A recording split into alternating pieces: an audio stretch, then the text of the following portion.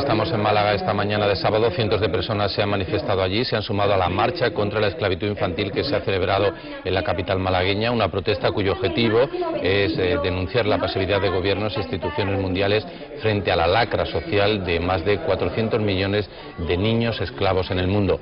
El paro y la esclavitud infantil son dos caras de la misma moneda y exigen un cambio del sistema.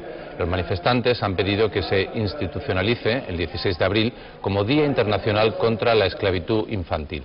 La marcha ha recorrido el centro de la ciudad y se ha leído un manifiesto contra lo que consideran un crimen político, social y sindical contra la infancia.